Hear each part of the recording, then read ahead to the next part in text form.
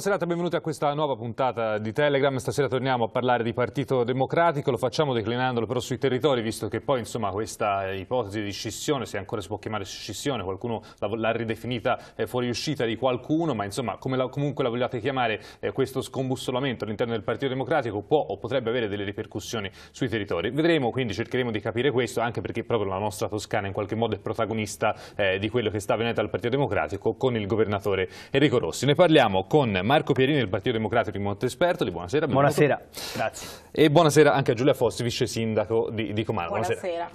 Allora, due diciamo, visioni eh, diverse del Partito Democratico, ma in questo momento eh, partiamo, da una, partiamo, dal punto di vista nazionale. Che cosa sta avvenendo? Lo chiedo un po' a entrambi, eh, ma voglio partire da Giulia Fossi. il fatto che Emiliano eh, sostanzialmente abbia deciso di rimanere alla fine all'interno del Partito Democratico per lei è stata una buona notizia oppure no? Ehm, in parte sì, lo è stata, ovviamente è stato tutto molto veloce perché nel, al momento dell'assemblea sembrava già deciso che comunque questo, il patto comunque con, con, Speranza e Rossi lo portasse, lo portasse fuori dal Partito Democratico. Credo che l'intervento ieri di Emiliano comunque nel merito sia, sia condivisibile ovviamente ha stretto molto i tempi anche sulla, sulla, propria candidatura alla segreteria, ma credo sia assolutamente condivisibile provare a fare un ultimo tentativo per, per cercare di rendere, il, per non abbandonare il progetto del Partito Democratico così come l'hanno conosciuto i fondatori, fra cui mi, mi ci metto, metto anch'io, e per far sì appunto che davvero il Partito Democratico rimanga il Partito Democratico, non si trasformi nel partito di Renzi quindi rimanga, rimanga contendibile. Mm. Poi ovviamente tutto sta a vedere come si procederà nei prossimi giorni ehm, durante, durante, la fase, durante la fase congressuale e quindi insomma cioè, i prossimi giorni ci diranno poi davvero come questo, questo, congresso, come questo congresso verrà impostato anche se ovviamente la presenza della minoranza in un numero veramente scarso all'interno della commissione di garanzia in qualche modo e il, mm. fatto, il fatto di non aver accolto eh, le proposte che sono di Huperlo anche nell'ultima nell direzione relativamente, relativamente ai tempi dello svolgimento del congresso in qualche modo dimostrano un'ulteriore un mm. chiusura. Un ulteriore schiaffo alla minoranza sostanzialmente questa? No, no, non è un ulteriore schiaffo alla minoranza. Allora, mh, mm, secondo me è bene partire dall'inizio, e cioè che tutto questo naturalmente nasce, nasce, dopo il, nasce, dopo il, referendum del 4 dicembre. E io francamente sono rimasto, posso dire, molto deluso da quello, da quello che è stato il dibattito del PD eh, nell'ultimo periodo, soprattutto in relazione alla, alla forte polemica che è nata da Rossi, da Speranza, in parte anche da Emiliano, poi rientrata, mm. uscita e rientrata nelle ultime, nelle ultime 72 ore. Adesso il Partito Democratico si deve trovare ad affrontare una fase congressuale in cui però finalmente parla dei problemi del paese e smette di parlare, eh, e smette di, parlare di se stesso. È naturale che questo impone sia per, ehm, sia per, eh, le amministrative sia per la stagione estiva una stretta sui tempi, una stretta sui tempi che però permetta comunque di fare un congresso diciamo, in condizioni normali. Eh, sono eh, molto contrariato quando sento alcuni esponenti della, della, minoranza in uscita attualmente sostenere che sarà un congresso di figurine, mm. perché con la candidatura sul campo di Matteo Renzi, con la candidatura di Michele Emiliano, con tutte le altre candidature che potranno uscire fuori nei prossimi giorni, secondo me il congresso può diventare veramente un momento in cui il partito dice ok, fermiamoci, discutiamo di qual è la linea, dopodiché però andiamo avanti sostenendo quella linea perché noi le sfide dobbiamo affrontare da qua mm. ai prossimi mesi saranno importantissime. Mm. Eh, volevo chiedervi anche una cosa, la domanda è un po' questa, perché anche questa mattina Roberto Speranza, insomma, parlando eh, sulla 7, mh, ha sostanzialmente detto che poi quella, come è stata definita, fusione a freddo per, con cui è nato il Partito Democratico, ovvero quella tra il Margherita e IDS, eh, sostanzialmente poi eh, nella, nella, leadership di Matteo Renzi si è in qualche modo sviluppata per così come era stato immaginato il Partito Democratico, però con quei crismi per cui si è spostato eh, più al centro e si è eh, diciamo, instaurato su un modello diverso da quello che era, che era con eh, segretari provenienti da IDS. C'è questa dicotomia ancora oggi, la domanda eh, la faccio a Giulia Fossi, ed è effettivamente perché una volta cambiata la leadership in qualche modo chi, non c'è più un'egemonia dell'IDS e quindi da, in questo senso c'è un'uscita anche per questo secondo lei? No, il problema non è assolutamente il fatto che non vi sia più un'egemonia eh, degli ex DS. La, la, mm, il progetto del Partito Democratico era un progetto ambizioso, io in questi giorni mi sono riletta in parte ehm, quella che era la Carta dei Valori presentata all'inizio del, del, 2000, del 2008 in, um, nelle premesse l'idea era quella di, di, quella di, tenere insieme delle, delle, tradizioni democratiche importanti per questo Paese, con tutti i valori che queste tradizioni si, si portavano dietro e in un contesto appunto di discussione, di dialogo, di pluralismo, quindi un campo dove vi poteva essere il confronto. Mm. La questione al di là delle egemonie è che piano piano negli anni si è assistito a un lento logoramento del Partito Democratico dove in realtà più che dei contenuti e degli aspetti valoriali e culturali, perché il Partito Democratico nasceva sì da una vocazione maggioritaria, ma era anche una sfida culturale importante per questo Paese, e ovviamente a tutto questo si è sostituito la semplice conta e nel mm. momento in cui si sostituisce piano piano la sola conta poi viene meno tutto l'aspetto di dialogo e di un contesto di riferimento in cui appunto si può parlare una lingua, mm. una lingua simile perché comunque eh, si condividono le regole, si condividono i metodi, si condivide l'idea del, del, confronto e, e dell'ascolto. Mm. Diciamo che... Prego, prego più che eh, la, la, la, la, fine di una certa egemonia è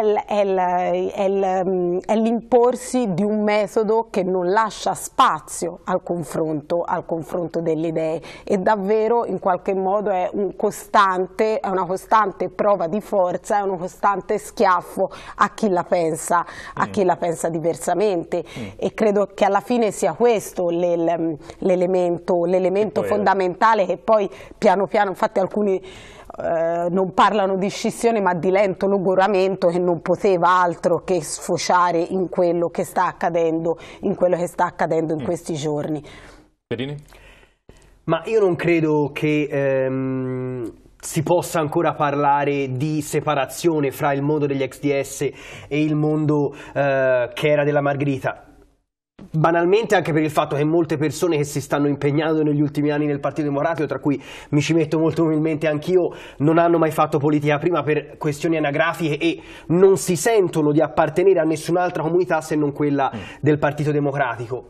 Ma poi soprattutto perché, e questo lo dico anche memore del congresso del 2013 che ha, che ha visto vincere Renzi, abbiamo, abbiamo assistito ad una ad uno scontro e qui eh, mi permetto di dissentire nel senso che è stato uno scontro sui temi, cioè è stato uno scontro su visioni di centrosinistra, mm. tant'è che Matteo Renzi non ha ricevuto sostegni soltanto dalla parte che è riconducibile all'ex Margherita, anche perché banalmente altrimenti non avrebbe vinto col 68%, e Gianni Cooper lo stesso, ma anche Civati, hanno proposto visioni di centrosinistra e visioni anche di paese che sono diverse ma che non sono esattamente la fotocopia di quelle che erano le proposte di DS. Mi sembra, e qui chiudo, che mh, negli, negli, ultimi periodi si sia confuso l'idea di stare in un partito e di, e di, avere un partito a disposizione che sia plurale aperto a tutti con la possibilità di mettere dei veti sulla linea politica riconoscibile del partito stesso. Io faccio l'esempio eh, sulla riforma costituzionale che ormai è capitolo chiuso ma ci aiuta a capire quello che sta succedendo. Ehm, Matteo Renzi aveva già proposto il cuore della riforma costituzionale nel, nelle primarie del 2012 e nel congresso del 2013. Primarie vinte, nonostante questo quando poi si è trattato di arrivare negli organismi dirigenti del partito, tra cui la direzione nazionale, e fare quelle modifiche necessarie a far votare la riforma costituzionale anche a una parte che non sosteneva Matteo Renzi al tempo delle primarie, si è provveduto a fare delle modifiche. Questo che vuol dire? Vuol dire che in realtà nel partito, sul Jobs Act, sulla legge elettorale, ci sono stati dei punti di incontro. Naturalmente, questo è ovvio, la linea politica del partito, se è una linea politica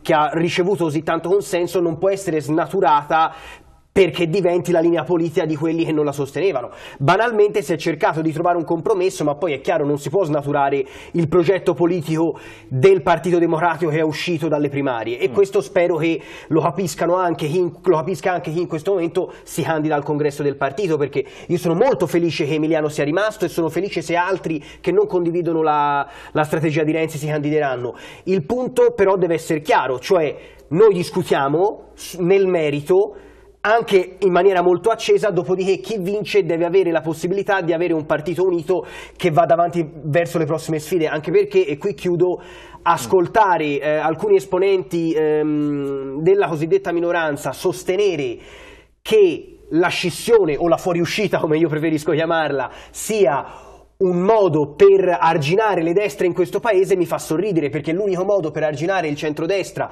o il Movimento 5 Stelle, che per me è nuova destra in questo paese, è avere un partito democratico unito e forte. Mm. Forse su questo effettivamente sembra difficile. Posso rispondere? certo.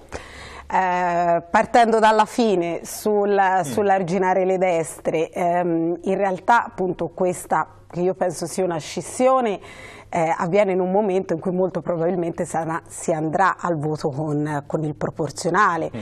E, e, quindi è ovvio che il, il, contesto, che il contesto cambia e che probabilmente esiste davvero uno spazio politico eh, a sinistra, esistono degli elettori che un tempo votavano a sinistra e che, a cui ora il Partito Democratico non, non parla più. Mm eh, non parla più eh, per, non solo per i metodi ma anche per il contenuto di determinate politiche degli ultimi anni.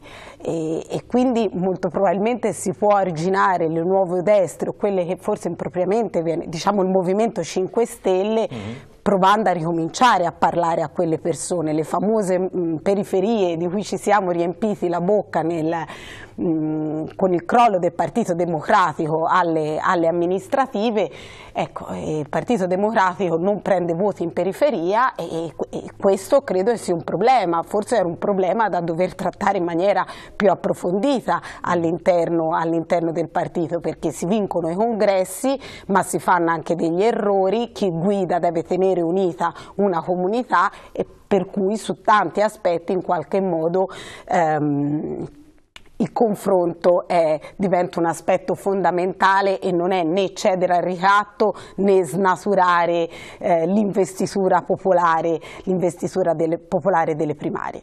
Ehm, e su e su questo poi la riforma costituzionale statuto, nella, nella, Carta dei Valori del Partito Democratico, fra uno dei punti vi era quella appunto di mai più riforme costituzionali de, mh, eh, con prove di forza della maggioranza, no? perché la Costituzione deve tutelare tutti. E in qualche modo invece siamo arrivati a un referendum, quello del 4 dicembre, con una grande prova di forza della maggioranza del Partito Democratico. E poi infatti si è visto come, come, come è andata a finire. Ecco, mm. cioè, la chiusura totale, eh, e questo non significa snaturare le idee e i progetti di fondo, però la chiusura totale su aspetti anche fondamentali e che rientrano in quelli che sono i valori fondanti del Partito Democratico, poi piano piano ha portato probabilmente anche una parte di quelli che erano elettori del Partito Democratico a non riconoscersi più. Mm. Questo poi non significa che magari il Partito Democratico non possa acquistare altri elettori da altre parti, no? Però credo che per i fondatori e per chi comunque crede in determinati valori e continua a crederci, il voler rappresentare determinati bisogni innanzitutto sia in qualche modo un dovere, ecco, se lo senta come, come un dovere mm, e questi aspetti credo non possano essere solo quantificati come risultato dei congressi o come risultato mm. delle, delle, elezioni. Ecco. Sì, no, cioè, io, credo, io, credo, che appunto se il Partito Democratico non discute di una sconfitta forte alle amministrative, una sconfitta forte alle amministrative nelle periferie, fra i giovani, lo stesso vale per la riforma, la riforma sì, costituzionale nazionale per, per l'analisi, eh, mm, credo, credo, sia un problema mm. perché non si può ridurre 40-60%, certo. è utile capire anche chi ci vota certo. e, e, quali sono i bisogni delle persone chi, che chi ci votano vota, e, chi e soprattutto, vota, chi non vota. Eh, non... No, su, su questo però è importante avere anche un po' di... Di, di, fare un po' di analisi storica su quelli che sono i risultati del Partito Democratico, perché l'unico momento elettorale in cui il PD a livello nazionale ha preso i voti di tutte le categorie sociali, di tutte le fasce sociali e in tutti eh, più o meno i luoghi, diciamo le periferie anche non soltanto geografiche ma esistenziali no, di cui noi parliamo spesso, è stato alle europee del, del, del 2014. Questo eh, forse ci dovrebbe, sempre dal punto di vista dei contenuti, fare interrogare sul fatto che una risposta identitaria di sinistra, come è stata, se vogliamo, anche quella di Bersani nel 2013, quando tutti lo abbiamo sostenuto alle elezioni nazionali, non porta necessariamente a parlare con quelle persone che in questo momento invece si sentono molto più rappresentate dal Movimento 5 Stelle. Quindi mm. su questo anche in ottima congressuale forse è bene, è bene ragionare. Mm. Sì,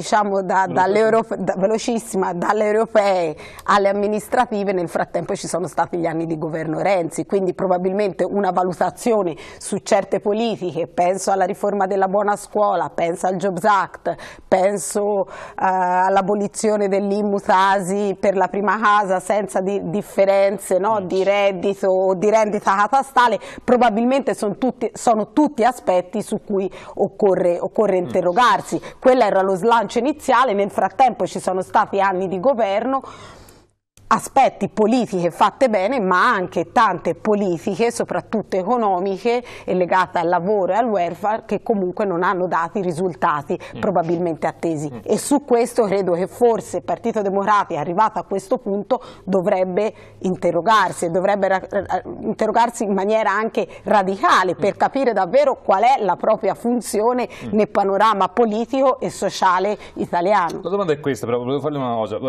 siamo in chiusura della prima parte poi riprendiamo il discorso anche dopo e arriviamo anche in Toscana, però la domanda è un po' questa, io immagino e ho, ho sentito anche diverse persone, elettori del Partito Democratico, che eh, hanno fatto un po' di fatica a capire la minoranza dalla maggioranza nel Partito Democratico, adesso capire che Bersani è della minoranza ma esce e Cooper è della minoranza ma rimane fanno piuttosto fatica. La domanda semplice è perché non rimangono dentro e sfidano Renzi? No, questa è un po' la domanda. Ma è, è una domanda che in questi giorni mi sto ponendo anch'io con molto travaglio, cioè l'idea che comunque il Partito Democratico possa essere anche contendibile, forse dipende anche dalla capacità che ha quella che si definisce minoranza, comunque quella parte che è portatrice più di determinati valori rispetto a un'altra parte che è portatrice di altri tipi e forse anche di un'altra impostazione Ecco, perché quella parte non riesce a fare sintesi mm. intorno, intorno a una proposta?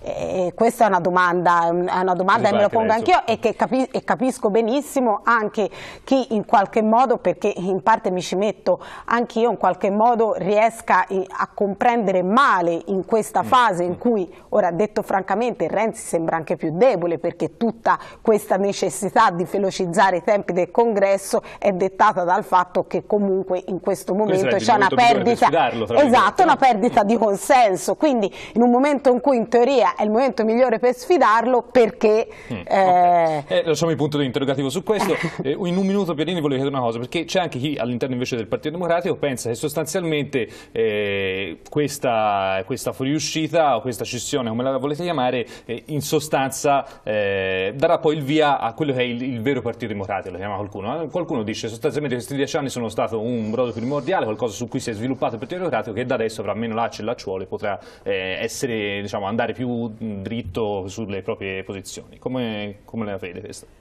Ma è, è, una domanda, è una domanda importante. Io sinceramente credo che il Partito Democratico stesse meglio con dentro anche una parte che, non, che io, le cui politiche e le, e, cui, le, cui, proposte io non condivido, piuttosto che invece avere, avere una parte in uscita. Io questo, di questo sono abbastanza convinto.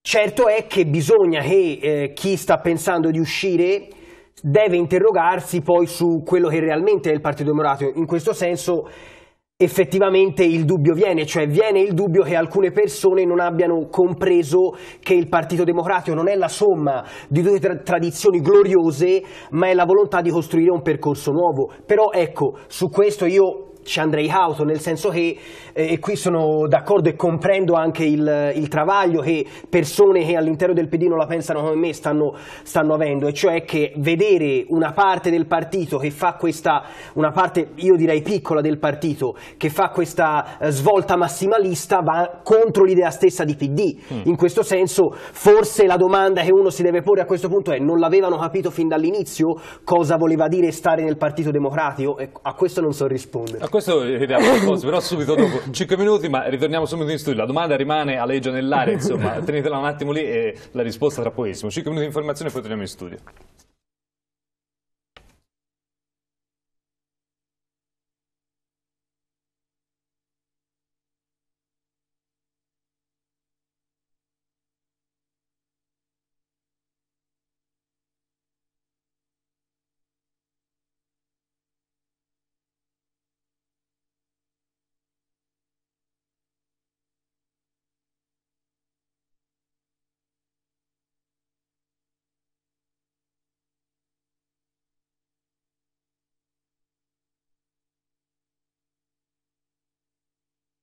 Bentornati in studio, allora stiamo parlando di Partito Democratico e Marco Perini prima ha lanciato una domanda che è rimasta un attimo nell'aria, la vuole ripetere così poi facciamo rispondere Fossi. Certo, no, mi chiedevo se, eh, se quei, quegli esponenti della minoranza che escano non si, siano, non, non si siano chiesti cosa significa realmente stare in un partito democratico, perché una, eh, portare avanti una fuoriuscita di carattere massimalista fa venire in mente che loro veramente non abbiano compreso che la natura del PD non è la somma di due parti, ma è la costruzione di qualcosa di nuovo. Le risposte identitarie sono di per sé contrarie a quello che è il senso comune del Partito Democratico e mi ci metto anch'io dentro naturalmente. Fossi? Dunque, direi che innanzitutto eh, non, è, non, è, giusto utilizzare l'aggettivo massimalista mm.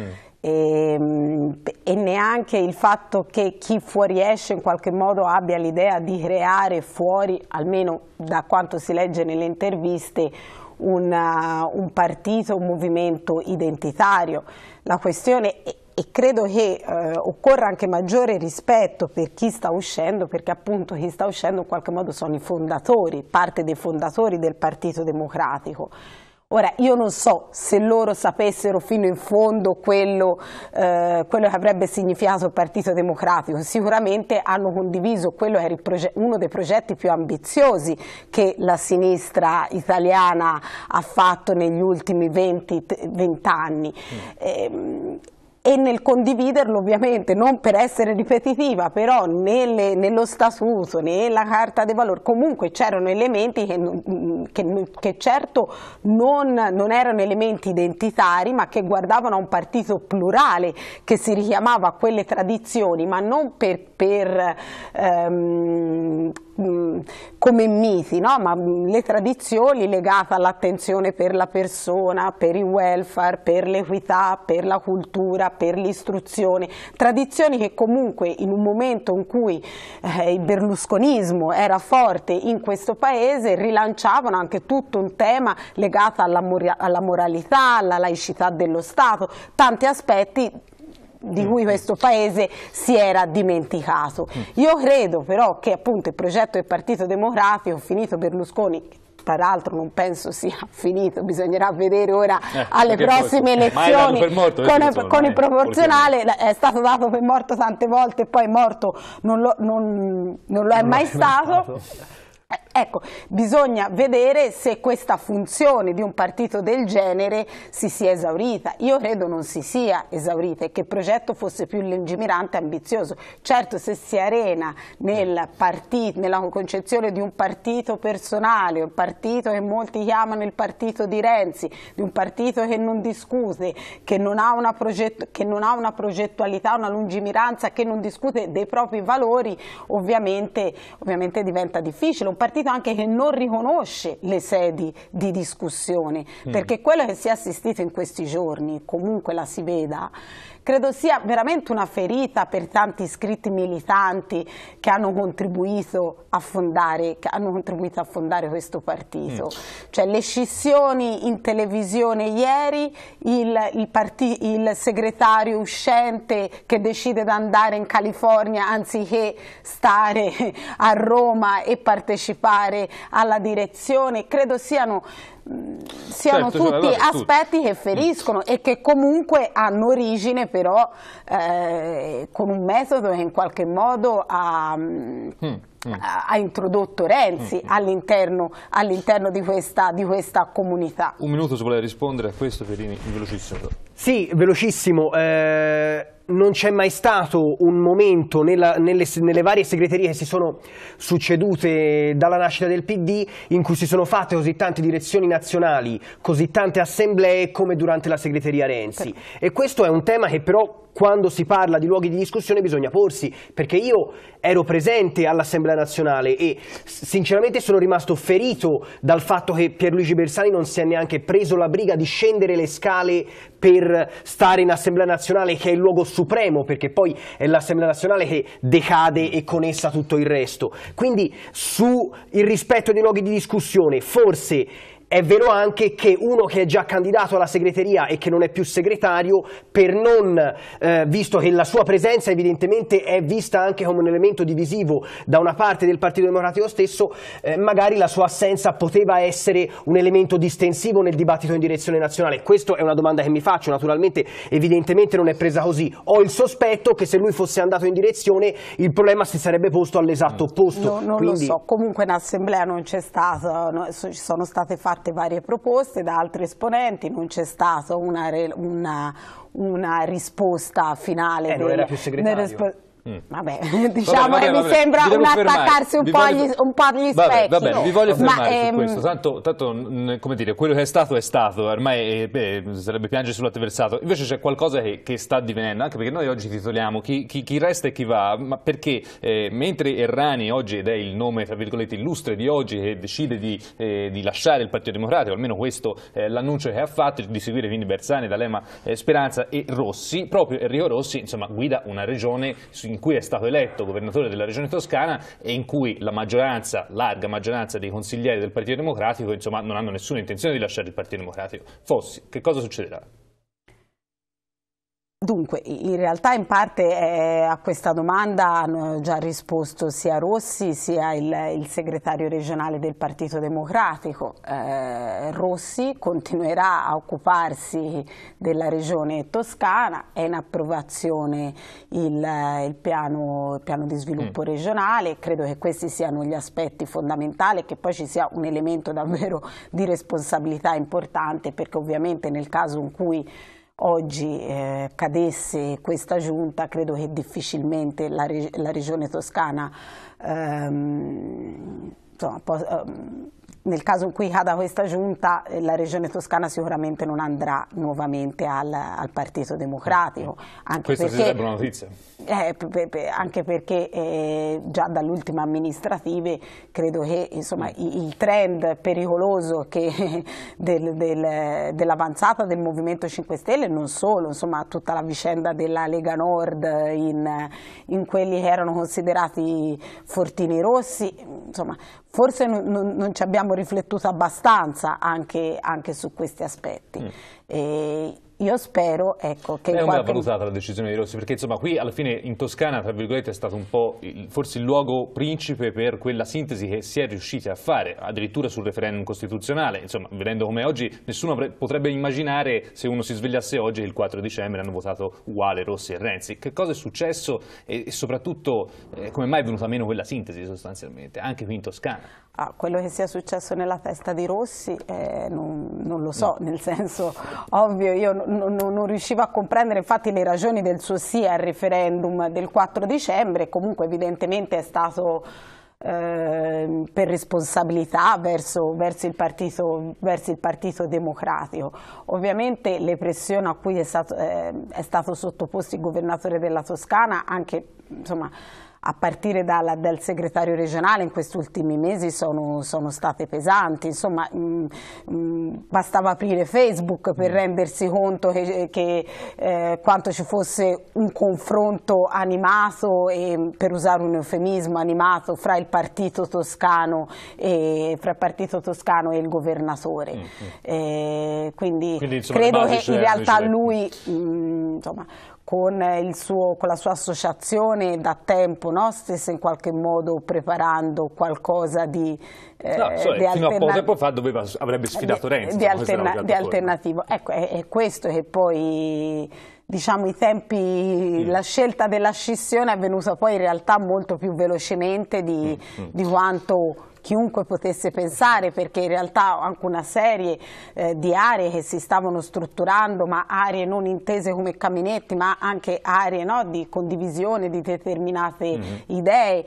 si stavano strutturando dopo il 4 dicembre, dopo il risultato del 4 dicembre, comunque eh, io le avevo sempre lette in un contesto all'interno del Partito Democratico in preparazione del congresso, ma non in preparazione del congresso per trovare una leadership, ma più che altro in preparazione del congresso per trovare una piattaforma mm, condivisa, politica, programmatica, cioè. programmatica su cui confrontarsi. Pierini, su questo?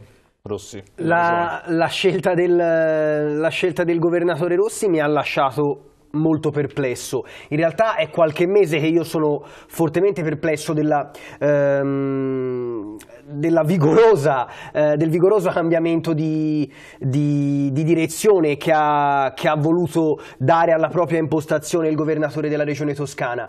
Ehm, credo che lui abbia francamente... Ehm, sbagliato a uscire, io questo lo dico perché il, eh, il, percorso che noi abbiamo fatto dal 2015 ad oggi di condivisione di, di determinate scelte eh, per il governo della regione toscana, tra l'altro con un Enrico Rossi che, ricordiamocelo, finché non ha avuto aspirazioni eh, diciamo nazionali, ha anche condiviso per una parte l'indirizzo politico, ora questa cosa poi si è persa, mm. ma ha condiviso per buona parte anche l'indirizzo politico che ha dato lo stesso Matteo Renzi quando era Presidente del Consiglio. C'è stata questa improvvisa voglia da parte di Enrico Rossi di avere un ruolo nazionale e negli ultimi tempi, devo dire in maniera abbastanza rocambolesca, ha scelto di uscire lasciando anche tutta una parte del suo, della sua area, diciamo anche in Toscana, priva di un riferimento politico poi, perché naturalmente io di questo sono convinto, perché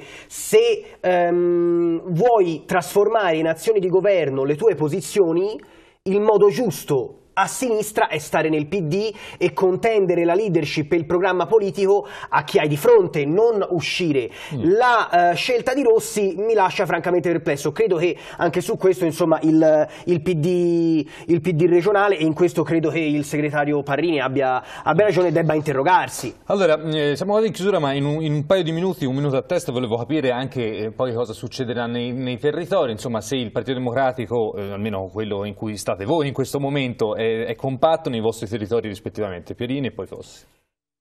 Il Partito Democratico francamente sì, è più o meno compatto e anzi devo dire che eh, almeno per quanto riguarda il mio territorio, io sono nel PD dell'Empolese Valdelsa, c'è stata fin da subito anche da parte dei, dei, segretari delle unioni comunali degli 11 comuni che costituiscono la nostra federazione una presa di posizione netta contro questa scissione nella tempistica diciamo poco ragionevole e soprattutto a favore di un congresso vero, mm. un congresso in cui si discuta dei problemi del paese però, non delle, delle, questioni identitarie, chi è più di sinistra o se Matteo Renzi, come ha, ha detto qualcuno, debba poter stare diciamo, a pieno titolo nel centro-sinistra. Quindi sui territori io francamente non registro tutta questa voglia di scissione anche chi, tra chi non la pensa come mm. me e questa voglia di buttarsi in un'avventura dagli esiti piuttosto incerti. Fossi? Ma l'obiettivo di, di con, diciamo, ricominciare a parlare dei, dei, problemi del Paese credo sia, sia di tutti e, e, anche, e, che nessuno abbia voglia in qualche modo di continuare più di tanto a, parla, a guardarsi l'ombelico o avere atteggiamenti, atteggiamenti schizofrenici. Quello um, sul territorio è una, è una, risposta abbastanza difficile da dare perché come il Partito Democratico negli ultimi anni ha subito un calo di iscritti spaventoso, così anche eh, probabilmente il, il collega proviene da, da, un territorio fortunato, però io mi sento di dire Vabbè, che... effettivamente eh, piuttosto siamo fortunati. Siamo, effettivamente. Sul, sul, sul, mio territorio ecco, di confronti reali per... Mh, per ritornare anche al discorso di prima mm, dove lui citava il numero no, di direzione di mm. assemblee, poi bisogna vedere quanto queste riunioni siano reali e siano ricche di contenuto o non siano come quelle che abbiamo visto dopo, dopo il 4 dicembre. Detto questo, appunto sul, sul su quello che accadrà sul mio territorio, parlo mm. del, soprattutto del Mugello, io non, non, non saprei dire perché ehm, insomma, ultimamente le, le, le poche riunioni riunioni e assemblee che vengono convocate vengono, eh, vengono, vengono, convocate per questioni locali. Mm. E, e, e, insomma, io penso siano mesi che non discuto di mm. politica nazionale sul, ter umano, sul territorio. No, no, no, no, non è una questione mm. di vento scissionista, è proprio una questione di morte del partito sul territorio, ecco, mm. per, per, non lasciare, per, non lasciare, dubbi. Eh, ultimissima cosa voglio chiedervi, dal 10 al 12 maggio ci sarà il lingotto 2, tra virgolette, di Matteo Renzi, idee programmate e tutto il resto. Ci andrete? Pierini e poi Rossi. Convintamente sì, anche perché apprezzo molto la scelta del Lingotto come luogo di ripartenza. Dopo dieci anni Lingotto 2? Ah, lo, lo, lo, vedrò da lontano. Va bene, torneremo a parlarne di questo. Ovviamente intanto io ringrazio Marco Pierini per essere stato con noi. Grazie, grazie, grazie Giulia Fossi ovviamente e bentornata. Insomma, davanti, ci dirà quando tornerà a dirci insomma, se poi andrà o no al Lingotto 2, glielo richiederemo di sicuro. Intanto grazie per averci seguito anche da casa. Telegram termina qui, ci vediamo domani. Buona serata a tutti.